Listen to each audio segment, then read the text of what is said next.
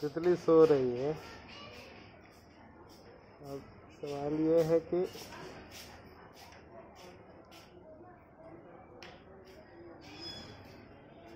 अकेले नहीं है, इसके साथ में इसका फ्रेंड भी है।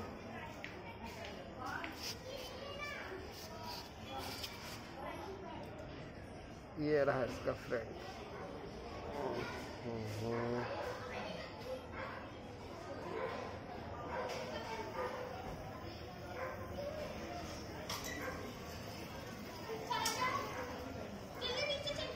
एक और ये दो।